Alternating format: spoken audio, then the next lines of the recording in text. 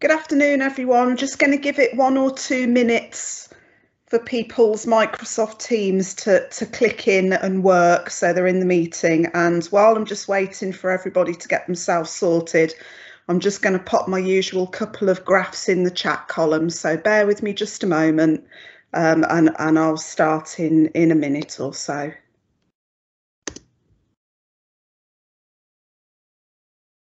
And hopefully everyone can see these um, just just let just let us know in the chat column if you can't uh, see them at all and um, I, I, know colleagues can can assist in reposting them if we need to.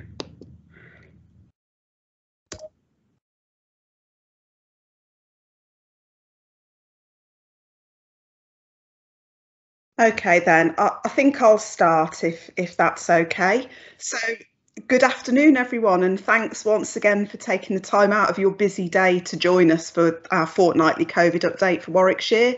I recognise a lot of your names in the chat column, which is lovely after so many months and starting to get to know you. But just in case there are any infrequent attendees here today, please let me introduce myself. I'm Jane Coates and I'm the COVID testing lead for the county and I'm based in the public health team. My ever present colleague, Fidelia Richardson, if she isn't here yet, she will be here momentarily. Um, she'll keep an eye on the chat column, so please do use that function for any questions and comments you've, you've got. Of course, these meetings wouldn't happen without the direction of your early years advisors team. And today we've got Jessica and Dawn here, and I'm sure they'll pick up any comments that you want to make that are specific to the core early years offer. So I want to open today with a really serious pat on the back to you all. It's absolutely accurate to say that the early years and childcare sector in Warwickshire is coping and performing phenomenally well. And all credit must sit with you all for the way you're handling infection control measures in your settings. You're all brilliant these are really trying times, particularly as the rules move to recommendations and the amount of grey area around decision making increases. But you really would make a fantastic case study into how you've managed to achieve results in spite of the many challenges to your organisational resilience and within your settings broadly.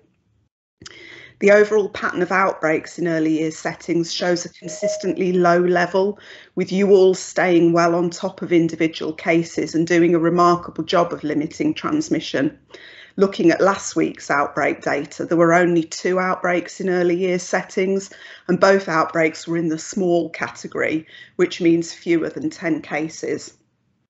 I wish the ways that you are all so obviously approaching hygiene and advice to families could be replicated so well by others because what you are doing really works. So well done to each and every one of you. You are doing an incredible job and helping lots of people stay safe and well. In terms of the wider picture of outbreaks, what we're seeing right now is a drop actually in numbers across education in early years and a rise in workplaces. There's a theory being reviewed just now that those people who are most affected in workbreak outbreaks workplace outbreaks haven't been vaccinated. So our efforts to myth bust and promote vaccine take part, as you might imagine, already underway. So I've started a bit back to front today and not opened with the county-wide case rate, so I'll move on to that now. Last week, the rate for Warwickshire was quite high in comparison to our West Mids neighbours, and the Nuneaton and Bedworth was topping the charts at the lower tier local authority level. What we've started to see since the tail end of last week and over the weekend is case rates rising in other areas, particularly Staffordshire. So we still have some relatively high numbers, but we are no longer the front runners in the West Midlands. If you have a look at the graphs in the chat column, particularly the first grey bar chart, and click on it to expand the view, what you'll see is the data we received this morning, and that shows that the Nuneaton and Bedworth Borough is still the Warwickshire leader at around 590 cases per 100k of population over the rolling seven day period. All three areas above us are, as I said, in Staffordshire. And an interesting point to note actually is that both Warwickshire and Staffordshire have really high levels of testing, both PCR and lateral flow. And I'm sure, therefore, that the two are not unconnected. In, in fact, I saw a report last week that showed that across the West Midlands, Warwickshire's district and borough areas held four of the top five slots for per head testing rate for, for population. Stafford actually came in at number three, but Warwick was number one, Stratford number two, Rugby number four, and the Nuneaton and Bedworth number five. North Warwickshire, which of course doesn't actually have a dedicated in-person PCR testing offer anymore, came 18th overall out of a total 43 areas across the West Midlands. So even then we're still performing extremely well. For us, in terms of health protection behaviours, this is really excellent news. We've set out the importance of testing. Clearly, we've done well to communicate the messages, but most importantly, people in Warwickshire have listened. The pink bar chart in the chat column shows you the slightly fluctuating position with county-wide case rates, and we are, as you'll notice from the far right of the column, just on a, uh, back on an upward slant after a few days of drop off. Positivity which is the number that describes how many people out of 100 taking a PCR test come out as positive, is at around 10%. So one in 10 of every person who takes a PCR test in Warwickshire is currently testing positive. The number is actually higher in Nuneaton and Bedworth, with 13 out of every 100 people testing positive. The, for, for, comparison, the West Midlands average rate is about 10%. So, so broadly speaking, with the exception of Nuneaton and Bedworth, we're in line with um, rates in the region and also with our near neighbours in Coventry and Solihull. Solihull is a little bit above us and Coventry is a little bit below us. I took a look at the ward areas with the highest numbers of positive cases over the last seven days, and you probably won't be surprised to know that they're Weddington, St Nick's, Wembrook, and Attleborough, all in the Nuneaton and Bedworth borough. The only exception in the top five is Lillington in Leamington. Um, and I think that does, uh, you know, fairly accurately reflect trends over time in terms of case rates. I'm sure you'll be fully aware by now that some schools have opted to move to remote and blended learning for pupils in an effort to contain transmission. This has been a really, really big story over the last few weeks, both locally and in the national media. Face coverings are being brought back into some schools where there are higher numbers of cases, and indeed, my own 14 year old is full of complaints about the return of classroom face covering wearing in her Coventry based school testing and specifically the testing of people who've been in close contact with someone with a positive PCR test result is a really, really hot topic of conversation. Again, not just in Warwickshire, but more widely too. The government rules are now such that we can't require people to take a PCR test if they've been exposed to a positive testing person. But what we can and are doing is to recommend the taking of a PCR test where exposure has been identified. I ordered a home PCR kit for my daughter last night following advice from school, and the online portal does actively reject your request for a test unless you tick very specific boxes. In my case, I selected the testing on the advice of my local authority box, given that she doesn't have symptoms. I think for some people, particularly those who aren't familiar with um, accessing tests online, this can be quite a difficult process to, to navigate. Um, we'll always do what we can to advise uh, and give information out if, if you feel that would be helpful. So, so I guess on the back of that, just a reminder really to please take care when asking parents to consider getting PCR tests for their exposed children or themselves. We can only advise or recommend this rather than require it of them, and this can feel a bit muddy for, for some people. Given the increased demand for PCR testing, we opened an additional mobile PCR testing facility in Warwick over the weekend, which we hope will stay in place into October half term.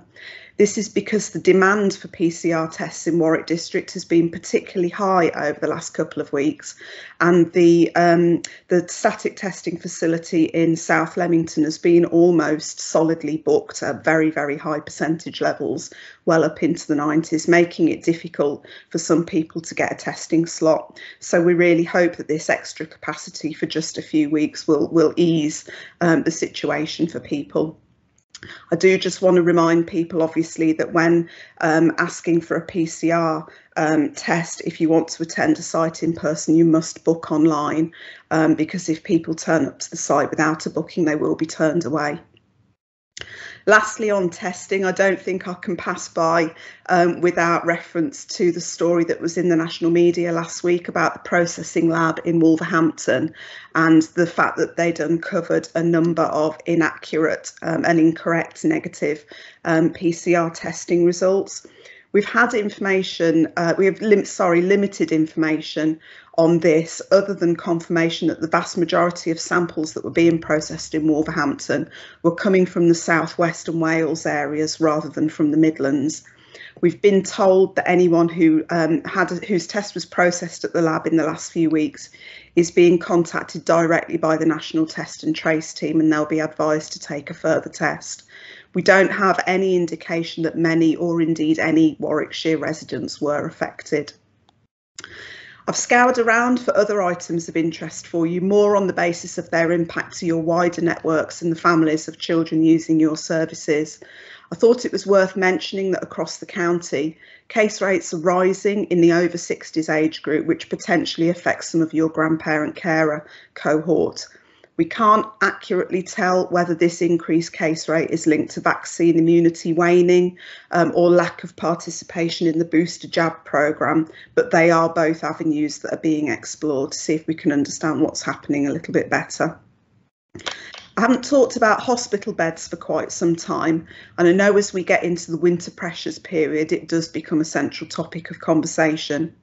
The greater impact is very much seen as affecting our older population and possibly more so this year because colds have really hit with a vengeance now that easier transmission opportunities have become the norm again bed capacity in hospitals is linked not just to the number of people who are ill, but the number of staff available to operate wards in hospitals.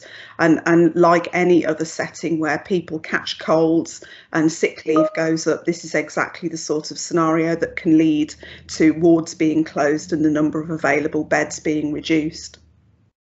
NHS colleagues as well as us are pushing really hard to promote uh, the flu jab this year to try and stave off at least some portion of sickness absence that might otherwise occur.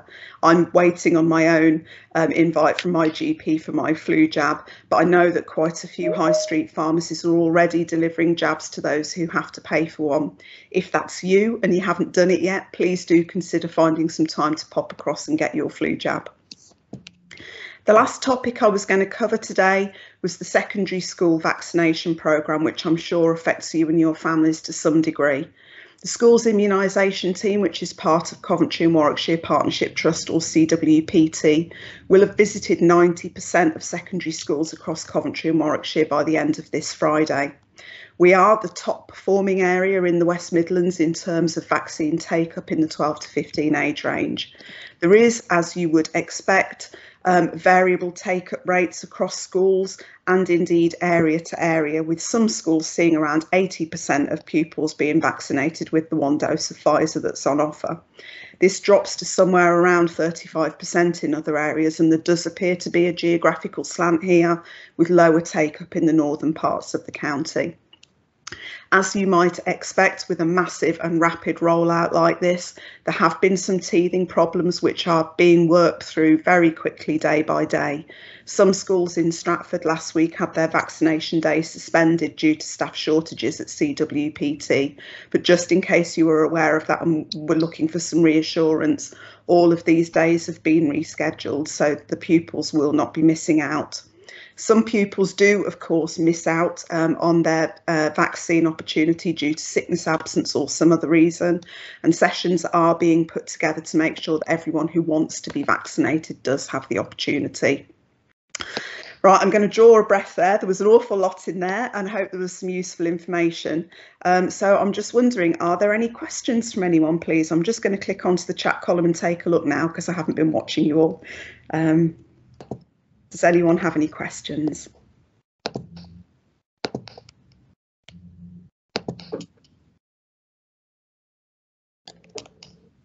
I've clearly done another really thorough job. Um, Have Jane. that's that's absolutely great. Um, obviously, if anything occurs to you after today, or we've just had a, a lovely long question here, um, thank you, Yvonne. We were notified by a parent last Thursday they were waiting for results of a PCR for her and her children. Later that day, her test came back positive and her child was negative, but she would keep him home as she couldn't get him to us. Monday morning, she phoned again to say she had a further PCR test, which she was not sure why, and this result came back negative, but she would stay in self isolation until the 22nd of October, as per the first guidance. Is this something you've heard of before? Always thought not to retest if you've tested positive until after 90 days. I, I can honestly say to you, Yvonne, um, yes, we wouldn't recommend it. Um, I, I think it, my, my, perception, and obviously it's based on nothing other than my own personal opinion, is that some of the stories in the national media last week about inaccurate PCR test results have caused some worry and concern in individuals, and perhaps it, given this case that that the mother tested positive but her child didn't, I guess it's possible that she could have thought she may have um, herself received an inaccurate PCR test result and has therefore gone to get another one in case she was negative. Um, I think what she's doing is the right thing and it would be what we would recommend if she was possibly able to do that, which was to continue with the self-isolation. Um, the, the fact of the matter, and, and we've been here um, numerous times, particularly around lateral flow testing, when there had been an awful lot in the press um, right throughout the year about whether lateral flow tests were deemed accurate enough. Um, the fact of the matter is, no test for anything is 100% accurate. There are always going to be instances where people get the wrong test result. That could either be due to user error or it could be due to some fault in the in the actual test itself.